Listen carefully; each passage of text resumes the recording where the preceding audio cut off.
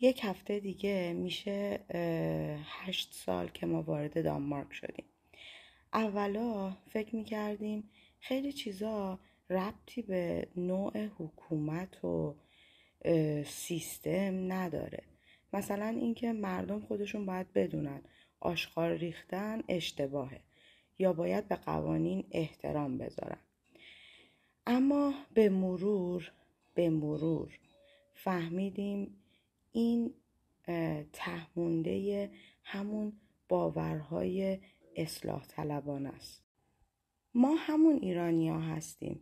همون کسایی که توی ایران خیلی کارا رو نمی کردیم اما بعد از یه مدت زندگی توی یه جامعه قانونمند به قوانین احترام می‌ذاریم خلاف نمی کنیم یا یه سری عادت ها رو انجام میدیم در صورتی که توی ایران هر جور که تشویق می شدیم بهش اون کار رو نمی کردیم.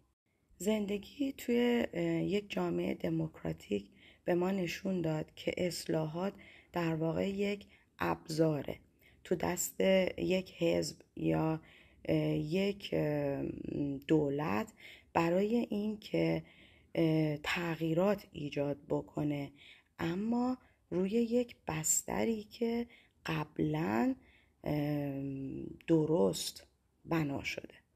اینجا متوجه شدیم که همه چیز برمیگرده به یک سیستم درست. با یه قصه کوچولو می‌خوام براتون تعریف کنم که کار یه سیستم درست چی هستش. فکر کنم هممون قصه اون درخت سیب و با اون پسر بچه شنیده باشیم. یه درخت سیب بود و یه پسر بچه. وقتی این پسر بچه کوچولو بود دور درخت سیب میگشت روش یادگاری مینوشت زیر سایش دراز می‌کشید. وقتی پاییز می‌شد با برگاش بازی می‌کرد. به شاخه های درخت تاب میبست تاب می‌خورد. خلاصه بچگیشو با این درخت سیب گذرون تا اینکه یه جوونی شد که نیازمند سرمایه بود. درخته سیباشو داد بهش گفت خب برو برای خودت یه سرمایه ای جور کن. پسرم سیبا رو فروخت و برای خودش کار را انداخت. یکم که بزرگتر شد یعنی دیگه گذشت از اون سن جوانی و وارد میان سالی که شد دوباره برگشت پیش درخته این دفعه پسر بچه دیگه نیازمند خونه بود. درخته شاخهاشو میده بهش میگه که برو برا خودت خونه بساز. چند سال دیگه دوباره برمیگرده. این دفعه میگه که می‌خواد سفر کنه. درخته بهش میگه بیا تنه منو ببر. بر خودت یه قایق بساز و سفر کن. پسر بچه هم همین کارو می‌کنه. میره و سالها ازش خبری نیست. وقتی برمیگرده دوباره بعد از سالیان سال دیگه یه پیر مرده درختم دیگه هیچی نداره. در واقع بهش میگه که من دیگه چیزی ندارم که بهت بدم. پیرمردم میگه منم دیگه هیچی نمی‌خوام. می‌خوام فقط یه جایی بشینم.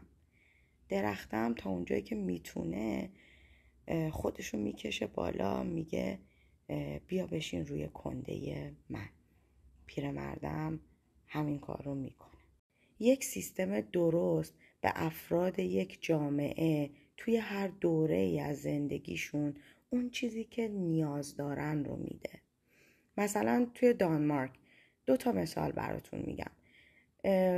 یه زن و مرد وقتی بچه دار میشن هر دوشون مرخصی زایمان دارن برای اینکه به بچهشون برسن.